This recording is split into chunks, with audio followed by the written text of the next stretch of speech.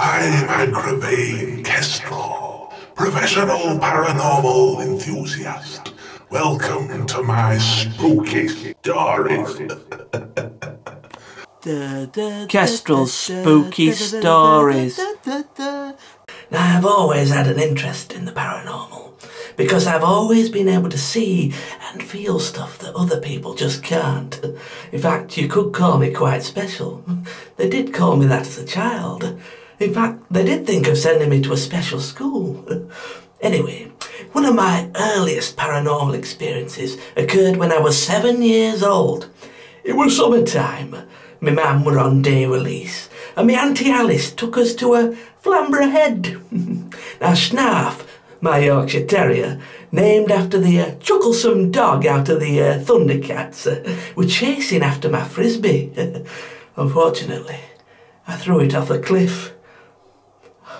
I remember watching in horror as Snarf leapt over the cliff edge and plummeted like a stone through the early morning air, smashing like a juicy strawberry on the jagged rocks below. Oh, it was terrible, terrible.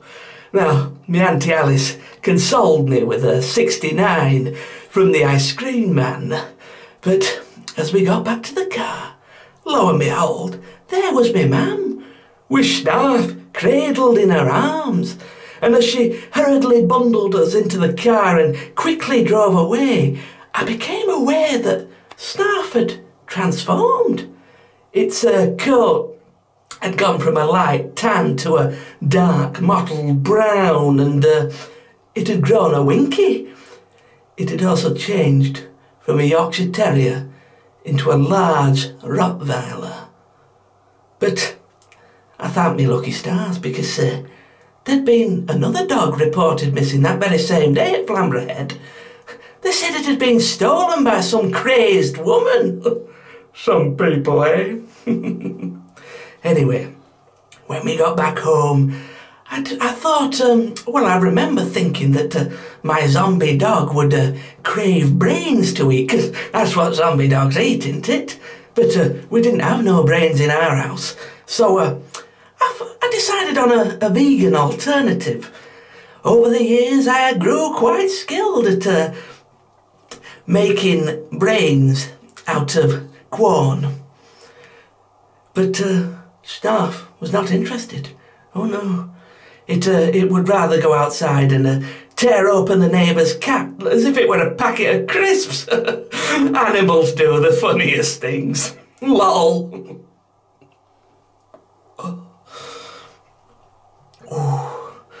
But uh, as all things must pass, uh, Snarf lived until he died at the tender age of 14. Oh, I can still remember the day I cradled him in my arms as he, he lay there, his breath becoming laboured, uh, and he tenderly gave my face a farewell bite. Oh, my Auntie Alice came in and she knew he was gone. She could tell by the tears mingling with the blood from my torn lips. it was a sad day, a very sad day. But all was not lost, however, because some time later, my Auntie Alice came in with Snarf, suspended in water. This time, He'd come back as a goldfish. Oh, I knew it was him. Its bulging eyes and fixed expression just could not be mistaken for anything else.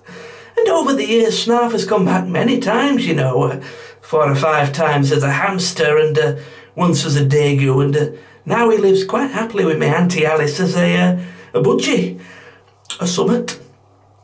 So there you go. That's the story of uh, when my dog died and came back to life. Thanks for listening.